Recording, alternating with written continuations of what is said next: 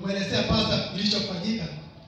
Kwanza mimi hata niliona kama nimeshinda pasta urefu, nikashinda huyu ndio pasta nimeambiwa. Lakini kitu moja pasta aliniambia ni kwamba hata sihitaji imani yako. Ai, sasa hapo ndio nimaliza kabisa. Ati hahitaji imani yangu na mimi nimetafuta mahubiri, nimeenda kwa makanisa, nimeenda kwa wahubiri, nimeshiri, Yaani nilitafuta kanisa zote, wahubiri wote wale unasikiaga wahubiri ilikuwa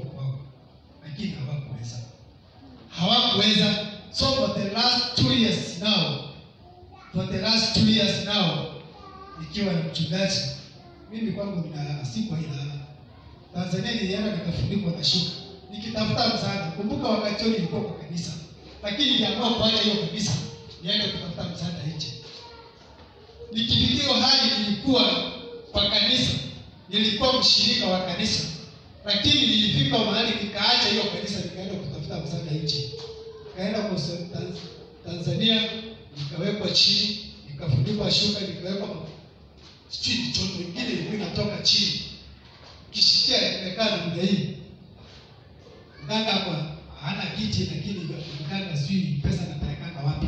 Nikakaa chini hivi akanifunika shuka hapo almost one hour, kimekea kitu kingine na sitaki amke na hiyo shuka, lakini siwezi amka. Choto inatoka chini, ni kama umewakisha moto, sitaka senti ya gas. Sikuwaipata usaidizi. Nikitoka hapo ninakuja kupata shida zaidi lakini siku moja nilikutana na mchungaji, ndio maana niko sisi ndio mahali hapa. Na sasa ningekuelezea mengi, Tuambie na nilipoteza bibi yangu, shoti akakufa, hiyo kitu ikaanza kukuata, ukaanza kulala, ukilala anatolewa nguo usiku anapanda anakuwa anatoka kama maiti. ndio Kidogo ninakwambia kuna mashetani, lakini huwezi jua wewe kama mtui, kama huwezi amini, mapepo ziko na mashetani ziko.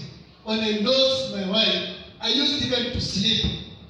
Nikiamka asubuhi sina nguo na nimelala na nguo.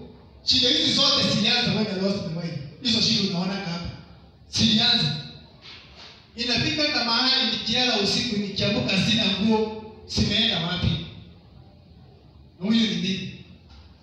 Nikasipitia zile challenge nikikuelezea huko, nakwambia ni ushuhuda mrefu. One day nitakuja kutoa ushuhuda na kuna mtu atabadilika mmoja, Mm. Kuna mtu atakuja kubadilika cheo shuhuda wangu tu. Na mimi nikaambia pasa ya kwamba kila wakati, kitu moja Mungu aliniambia ni kwamba wakati ambapo ninamwita Mungu nikiunganisha na mchungaji, at least chochote. Hali hii ilinifika, nikajaribu kuongea na pasta. Kitu moja pasta alikuwa ananiambia do not worry. Mm. Sasa hiyo neno ilikuwa linipea challenge sana, lakini kumbe ni cha neno ni moto sana. Usione hivyo, ni mzito sana, lina maana yake. Sasa pale ikafikia wakati nimepoteza bibi yangu na alienda ina wewe kutuambia kwenye bibi yako alianguka, ukaita pasta, akakuja kama akamwambia. Pasta akasema anaendea mafuta akaja. Kuna pasta niliita hapo wakati wao sasa the wife is down, nikaita pasta. Kumbe hata mtu nilikuwa najua, lakini kuna mambo mengine nilikuwa connected na yeye kutoka Wiru, was a relative to my wife. Akaniambia kuna pasta mwingine namwita hapa atakuja kusikilisha. Mm. Sasa pasta akakuja, nilikuwa naishi that time 44. Akakuja huyo pasta, wakati tunaongea kwa simu anakuja, akakuja mpaka kwangu kwa nyumba. Kumuona tu akaniambia, ah, chacha, kumbe ni wewe. Mtu alikuwa anajua mpaka chini. Na mimi nilikuwa na expect mtu mwingine tofauti. Akakuja mpaka kwa nyumba. Akaniambia ndio huyu. Aka akamwambia na maikia nilikuwa namwambia, Hii kitu ninaona kuna kitu moja itaweza hii Patia 200 naenda kuweka mafuta. Nikampatia shilingi mbili. Najua sasa wakati pasta na ukiwa na shida na umeambiwa kitu saa zingine na sasa pale ni kweli sababu ni mzangu nataka nikapatia 200. Kalienda Sijai kuona mpaka leo. Hiyo 200. Ah, kuna siku nikakutana na yeye pale 44. It was just hata simwaka chaisha, hata simwaka miezi kadhaa nimekutana naye 44. Vile tu alikuja akamwona hapo akiwa chini, hivyo ndivyo alienda. Akaniambia ya kuja kuna sio kutaka kutafuta. Hapo hapo mpaka leo hii hapa hapo haichuo huyu jamaa kulienda namna gani?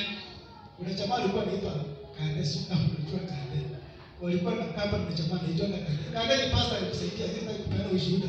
Kande pia alikuwa ni pastor alimuongoza kule msituni wakiwa kwa maombi Sasa wakakucha na huyu kande hapo kwenye mbele yangu.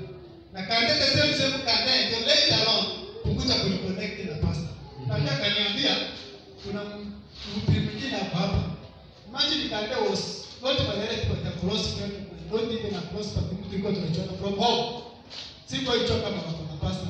Yeye hapo ana kesi ndio yangu sana. That day open my story kwa kile connect na pastor. Ikiwa naishi hapa. Akaniambia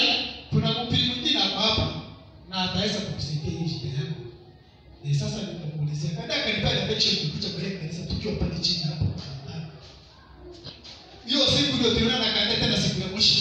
Hiyo siku alikuwa kwangu akaniambia hiyo story. Pia nitakutana na pastor. Alikuwa anatumika ndugu kuunganisha upone. Hiyo siku ndio tulimaliza na kanisa akaniambia tukutane na pastor Thursday ndio tutakutana kwa church tangu usoni Monday. Tuesday nikapiga pastor simu. Siku ni Wednesday But Thursday ndio tukutane na pastor. Pale nikuonyesha kanisa ni wapi na pastor kwa wapi.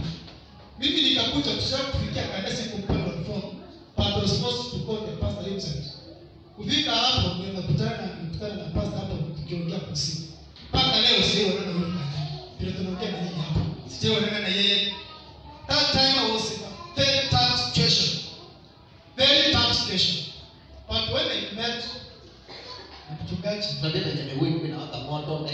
Anakufuata kila mahali usiku na mchana. nilikwambia patie story mzuri, wewe uniambie nikatakata. Naweza mbili tu nimalize. I used to move from my house ndio nifike kwa stage na kupatia story short yangu. Nitoke kwangu mpaka nifike stage na feel kutoa viatu.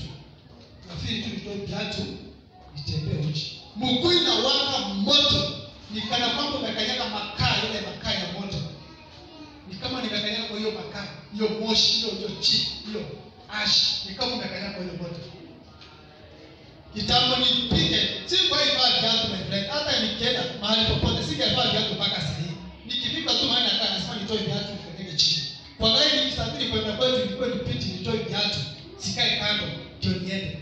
Leo naenda kwetu hata sijui kama niko na viatu, sijui chochote kinaendelea. In short, leo